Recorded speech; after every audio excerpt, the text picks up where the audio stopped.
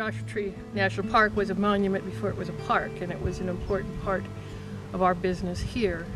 Now that we have these new monuments in the desert, there's so much more opportunity for visitors to explore. Look at all those grapes. I know, they're beautiful. I was able to hear Secretary Zinke speak to the outdoor recreation business owners and say that he really wants to manage the desert on the landscape wide scale and to protect the natural environment and the wildlife linkages.